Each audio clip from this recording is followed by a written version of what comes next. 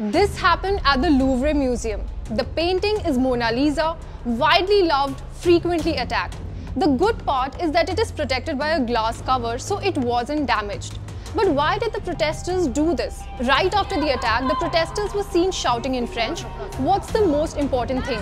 Art or right to healthy and sustainable food? Now the activists belong to a French organization that translates to food counterattack. It said that the current model for food stigmatizes the most precarious and does not respect our fundamental right to food.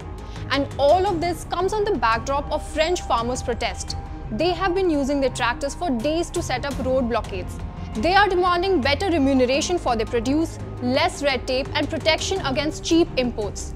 As per the World Bank, around 2 to 3% of the French population is employed in agriculture.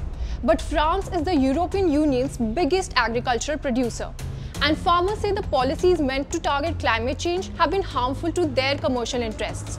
The newly appointed Prime Minister acknowledged that farmers are in a difficult position and announced concessions such as scrapping of an unpopular diesel tax increase. Despite that, unsatisfied French farmers have vowed to blockade Paris and keep up national protests.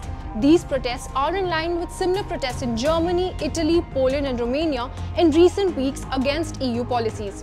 And well, if we come back to the Mona Lisa, this wasn't the first attack.